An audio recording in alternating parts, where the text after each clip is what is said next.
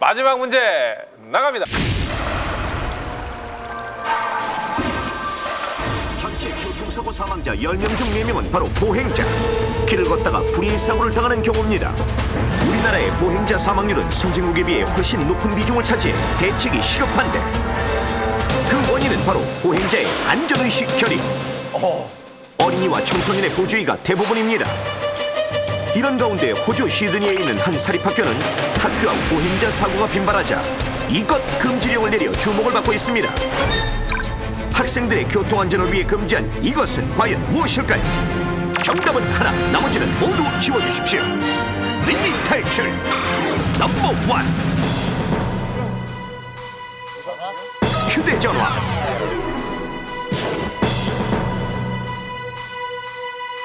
선글라스. 성인 잡지.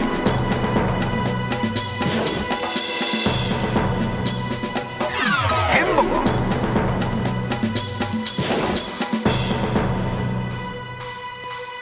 이어폰.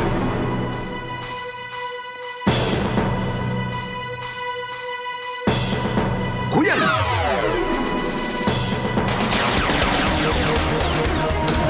선택. Are you okay?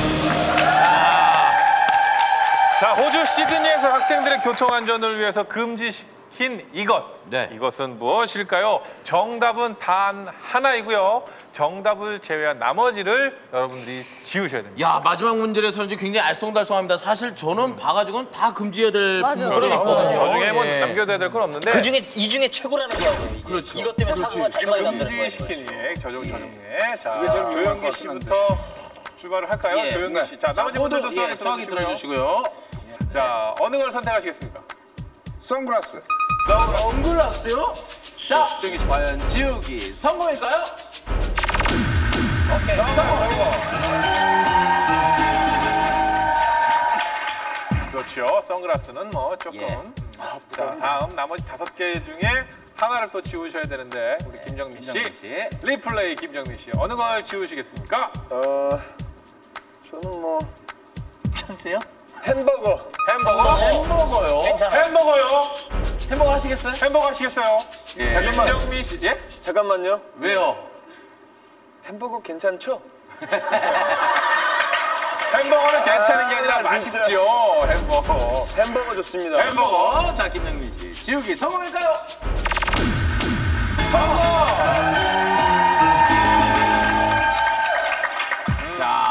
선글라스와 막내. 햄버거를 지우셨고 막내. 자 이제 휴대폰, 씨. 성인 잡지, 이어폰, 고양이 네 개가 남아 있습니다. 장윤정 씨는 어느 것을 지우실까요? 제가 알만한 걸 다 하셔서 찬스. 찬스 치셨습니다. 이번 찬스는 마음껏 얘기해. 지금부터 예. 어, 1분 동안 마음껏 이야기해주세요. 아, 우리끼리 한번 이제 상의하실 수 있어요. 자, 1분 동안 정답을 얘기하는 게 찬스예요? 네, 찬스. 우리끼리 얘기하는 게 예, 상의하는 게. 자 시간 흘러가고 있죠. 뭔 찬스가 이래? 뭐야? 빨리 우리끼리. 얘기하는 게뭔뭔 도움이 되겠어요? 지금 남은 게 이어폰, 고양이, 그러니까 휴대폰. 그러니까 내가 볼 때는 휴대폰 아니면 이어폰 같은데 내가 보기엔 이어폰이에요. 그치, 왜냐면 이게, 이게 안 들리잖아 경적 소리가 양쪽 다 휴대폰 안 같은. 경우는 눈도 볼 수 있고 귀도 들을 수 있고. 근데 이어폰 같은 경우는 아예 이어폰이야, 경적 소리 안. 들리거든 고양이는 왜 안 하셨어요? 그러면 고양이 나중에 고양이는 냉겨둔 거지 가장 쉽게 하라고. 쉽게 하라고 근데 냉겨둔 거 지난번에 제가 무슨 아니야 방송에서 음주운전보다 휴대폰을 들고 있는 게 더 위험하다고 들었는데 상관없- 일단은 아이들 안 같은 거 그런 거 있잖아요. 영어 회화 같은 거. 영어를 꼭 횡단보도를 건너면서 해야 되냐고 요즘에는 영어 쓰는 나라니까는 영어 회화를 해야 되니까. 아, 애들은 네. 영어를 날 때부터 하는 애들인데 무슨 영어 회화 연습을 해 자 그럼 지금부터는 이야기. 자 마음껏 얘기해 찬스를 마음껏 활용하셨어요 지금. 휴대폰, 성인 잡지, 이어폰, 고양이 네 가지 중에 어떤 것을 지우실까요? 장윤정 씨. 고양이.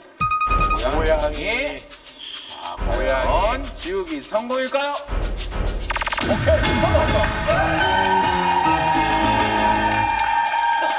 자, 이제 남은 보기는 세개 남아있는 인원은 두명 자, 휴대폰, 이어폰 굉장히 비슷한데요. 성인 잡지는 좀 뜬금없긴 해요. 하지만 저게 또 함정일 것 같기도 하고. 지금요, 보니까요, 대충 보니까 어, 지금 다섯 분의 의견이 성인 잡지는 일단 아닌 것 같고 휴대폰 아니면 이어폰인데 네. 문제는 이성진 씨가 성인, 성인 잡지를 말씀을 하고 나서 나머지 휴대폰과 이어폰의 선택을 김현철 씨에게 드리느냐 아니면 과감히 휴대폰, 이어폰 둘 중에 하나를 이성진 씨가 말씀하면서 김현철 씨를 좀 더 편하게 만들어 주느냐 승부 걸어. 걸어요. 근데 반대로 성인 잡지라는 단어가 우리 김현철 씨의 의욕을 또 불끈 솟아오르게 할 수 있기 때문에 여러분들 그거 잘 생각하셔야 됩니다. 여러분들 정말 그거 자 지금 예 감독의 역할이 중요해요 자. 이성진 씨 예. 과연 공을 김현철 씨에게 넘기시겠습니까? 아니면 본인이 해결하시겠습니까? 이성진 씨의 선택. 응? 어, 자신 없어. 어, 진짜 자신 없어. 찬스도 다 썼고요. 어떡하냐. 이제 걸어. 자신 없으면 넘기세요 휴대폰! 휴대폰. 어. 고비 잘 넘겨왔는데. 잘 넘겨왔는데. 자 바로 공개할까요? 안타깝습니다. 휴대폰. 자, 지우기. 바꾸실 생각 없어요? 바꾸지 마. 지우기. 이어폰? 자, 휴대폰 이어폰 마지막 선택. 휴대폰! 휴대폰. 이성진 씨 휴대폰 선택해 주시는데요 과연 지우기. 성공일까요?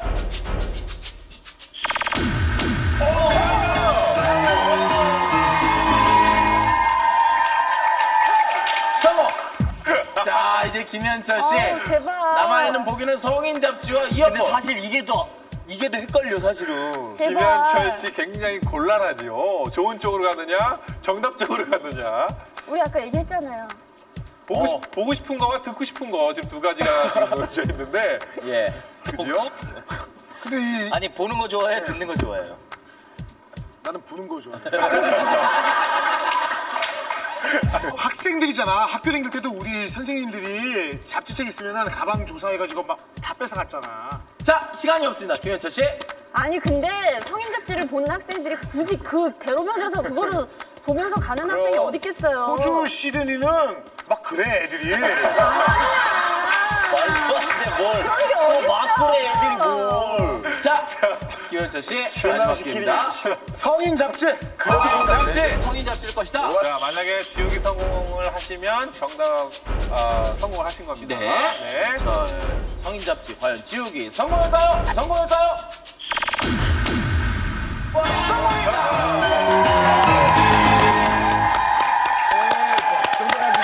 아, 이렇게 되면 축하드리고요. 예, 이어폰의 위험성을 여러분께서 직접 화면을 통해서 확인하시죠. 정답은 이어폰입니다. 이어폰을 착용하고 보행할 경우 경적 소리를 차단하고 사고 시 순간 대처 능력이 저하되어 사고를 당할 위험이 높은 것입니다.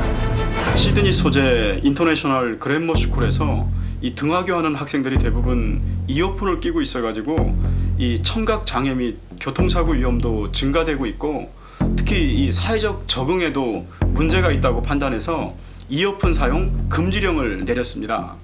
실제로 이 호주에서는 이 학생들이 이어폰을 착용하고 다니다가 교통사고가 증가해서 경찰에서는 보행 중에 이어폰 사용 금지하는 법안까지도 지금 검토를 하고 있습니다. 학생들에겐 이미 생활화가 된 이어폰. 하지만 문제는 이어폰의 음악 소리가 너무 크다는 것입니다.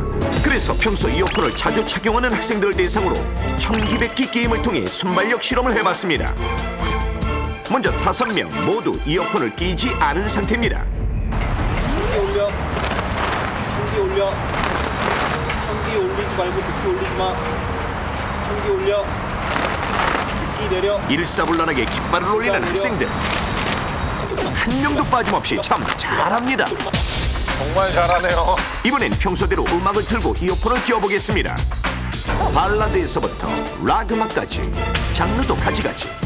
과연 깃발을 잘 들 수 있을지 내려. 올려. 백기 올려.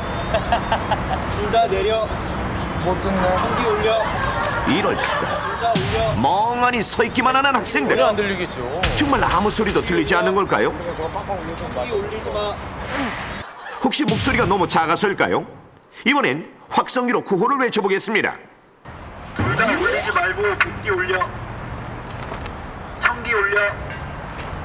백기 내려.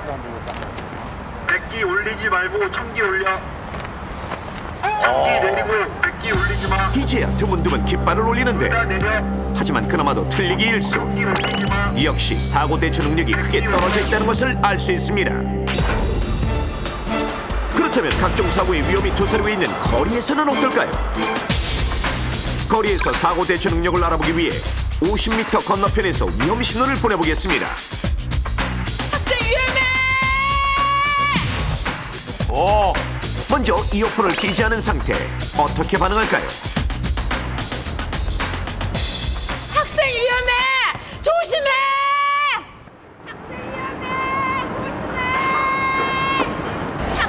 바로 위험 신호를 인지하고 위기를 모면했습니다. 이어폰을 재밌는 끼면 어떻게 실험이네요. 달라질까요? 평소와 같이 큰 소리가 나는 이어폰을 끼고 실험해 보겠습니다. 과학적인 예. 실험인데요. 어떻게 될지 대충 예. 결과 학생 예상되죠? 위험해! 예. 조심해! 안 들리겠지요? 아주머니가 큰 소리로 다급하게 외쳐보지만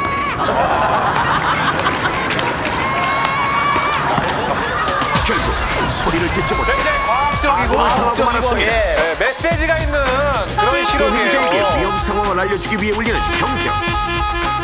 자동차 경적 소리는 115데시벨로 50m 이내의 사람들이 모두 알아차릴 정도의 크기입니다. 이어폰을 낀 실험맨을 향해 계속 저 경적을 울려보지만? 묵묵부답. 이렇게 큰 경적 소리도 들리지 않는 모양입니다. 오, 오, 오. 오, 계속 경적 이대로 가다가 사고가. 날지도 모르는 상황. 정말 답답하기만 합니다. 저 경적 소리가 너무 약하다. 거의 자동차의 지이기 직전에서야 알아차리기 실패. 이것이 실제 상황이었다면 정말 아찔합니다. 편리하고 유용한 이어폰. 하지만 거리에서는 가급적 사용을 자제해야 합니다. 유아의 경우 두꺼운 털 귀마개 역시 소리를 차단할 수 있으므로 도로에서는 잠시 빼놓는 것이 좋습니다. 특히 인라인 스케이트나 자전거를 탈 경우 이어폰으로 인한 사고가 많이 발생하므로 절대로 이어폰을 끼지 마십시오. 보행 시 이어폰 착용 영영 음악을 못 듣게 될 수도 있습니다.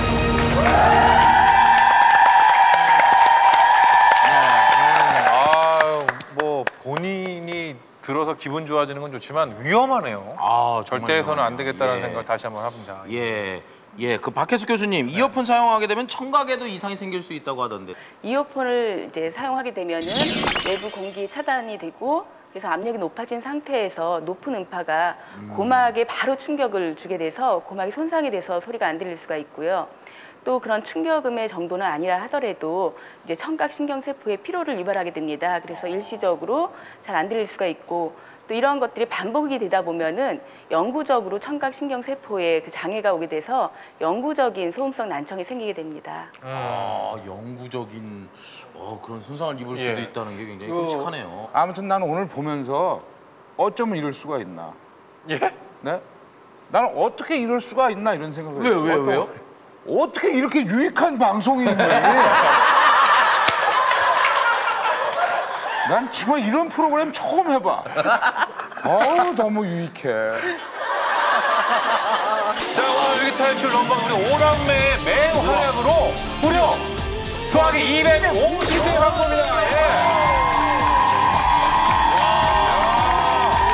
아, 여러분이 애써서 모아주신 소화기는 저희가 네. 꼭 하는 곳에 잘 전달해 드리도록 하겠습니다. 여러분들 개개인 각자의 이름으로 전달이 되니까요. 오늘 좋은 일 하시기 바랍니다. 네. 자, 다음 주에도요. 저희 위기 탈출 넘버 여러분이 원하시는 아, 유익한 정보를 가지고 찾아뵙겠습니다. 대한민국의 안전사고가 없어지는 그날까지 위기탈출 넘버 원!